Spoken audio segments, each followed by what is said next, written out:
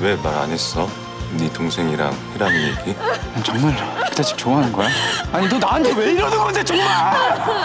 다시 한 번 얘기해봐. 도서방이 바람핀 거 알아요? 무슨 말도 안 되는 소리를 하고 있는 거야? 첫째 따님이랑 살면서 다른 여자를 만났다고요. 대개 도서방이 순찰차 처음 봐요? 근데 뭘 그렇게 열심히 봐요? 어이 CCTV 좀 확인 좀 하자 그 합의 금액 보려면 나 편의점이라 털어야 돼 네가 범죄 예방 좀 해라